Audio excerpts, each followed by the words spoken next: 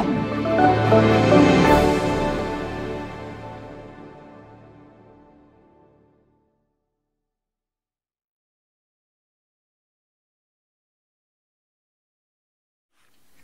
my name is Rudy Mauser, and um, I'm CEO and co-founder of the agency Amp Acoustic Branding.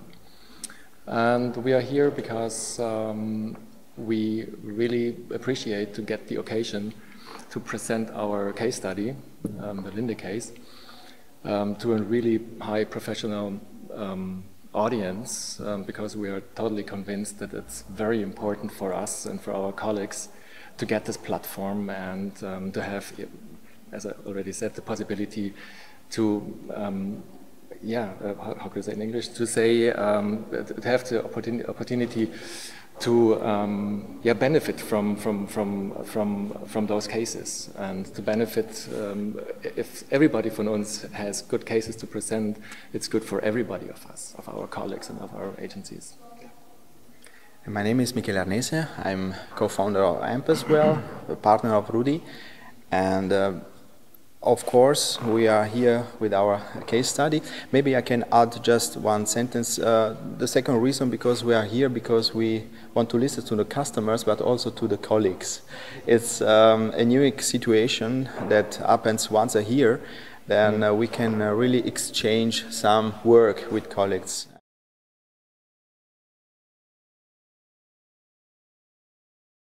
Um, listen to consumers means for us um, not only um, measure the consumers, but also uh, try to understand, and this is also a work that we are working on actually with our agency, um, try to understand how we can uh, learn more from the customers in order to address also the right emotional profiles of the customer with, with all the work that we do for our customers. And um, this is um, a triple work. It needs a work with a university together, also with a branding expert, with um, branding uh, strategy experts, and with audio branding agencies. And we will try to do that work in next months. And this is really an inspiration to be here with that uh, team today because it's really that what we are working on.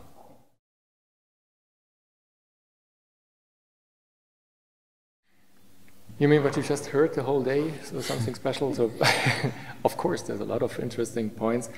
So, for me, for example, I really enjoyed the opening speech of Julian Treasure by um, telling us that everybody of us is slowly losing the awareness of hearing, of listening, of our hearing, of our ears.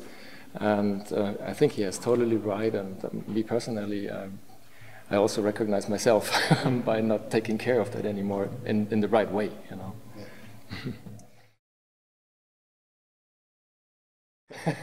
we are waiting for the decision about the award, so we are still enjoying the Congress. and the great, nervous. No, uh, seriously, we can tell that um, we, we love the, the way that uh, people organize the, the Congress, and uh, we are uh, very happy that someone is taking care, taking care about the community, if you want. Yeah, giving us a platform, as, a, yeah. as we said already. So that's really a, a big pleasure, and thanks uh, again from that point.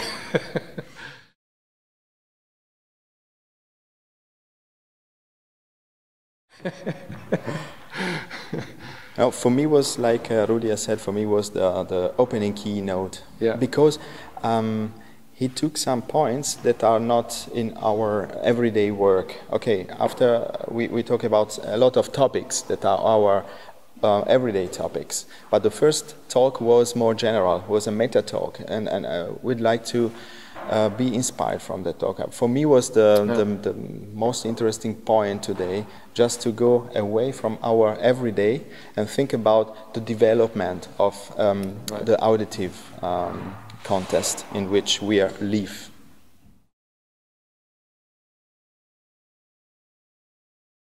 Uh, yes, one point. Uh, maybe if uh, we can talk more about sound, not only music. So it's it's uh, we have here heard mm -hmm. today also some sometimes the points, but uh, for us is um, uh, what we hear doesn't matter if it is music, if it is sound, and uh, it's uh, all uh, an experience and uh, maybe some more works also in this direction or to treat the team mm.